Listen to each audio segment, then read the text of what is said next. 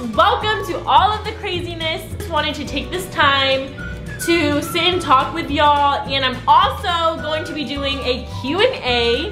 Life has been insane if you know. My life has completely changed in just a matter of months.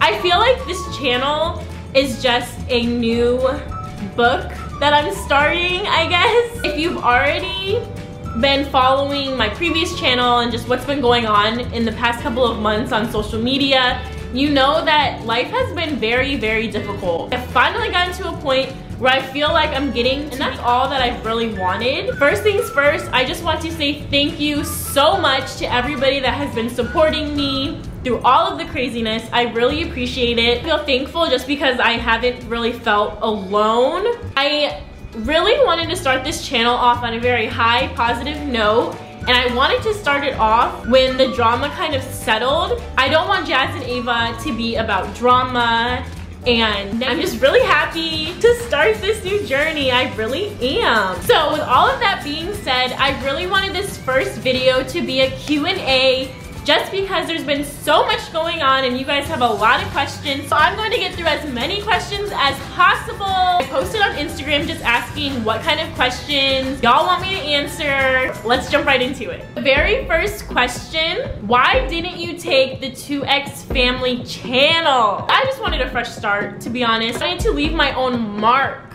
with my own channel. I wanted a new vibe. I just wanted everything to be new. I loved my past channel. I love it still to this day. There's so many great memories on it. I just want to make new memories and this is my way to make new memories. Next question. Oh, I like this question. How is almost two? She's going to be two next month.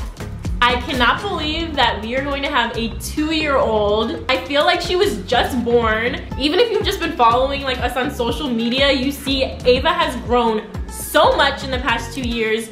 She talks constantly. She's so smart. I'm really amazed by Ava every single day. She surprises me. I can't be sad around her. She's so funny and loving and sweet and smart. I just love that little girl. But yeah, she's doing great, my little baby. Oh, I love her. All right, next question is, is somewhere you want to travel, my one place that I am obsessed with. I have been for years and years and years. If I ever get married, that's gonna be where I go on my honeymoon. I wanna go to Greece so beautiful and it feels so peaceful. My best friend and I actually look up online all the time what we're gonna do when we're there. We're trying to like plan a trip that's not even happening yet, but I am so ready to go whenever that time comes.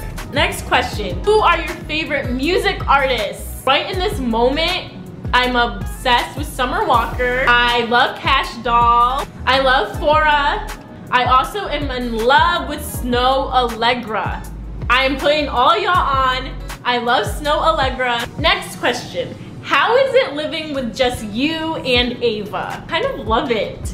I just, I've never lived on my own, which is crazy. So I'm really embracing it and enjoying it. Ava has her toy area. My house is just very me. It's bright, it's pink. I always have flowers. I love it, I really do. Maybe.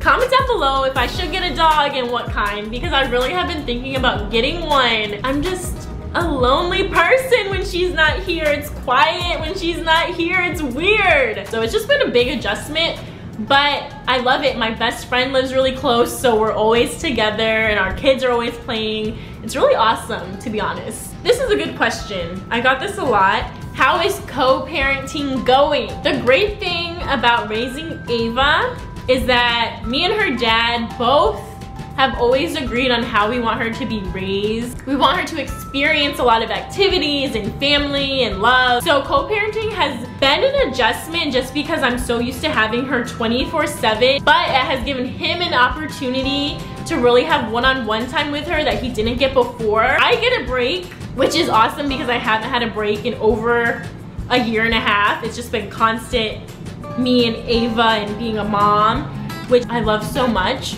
But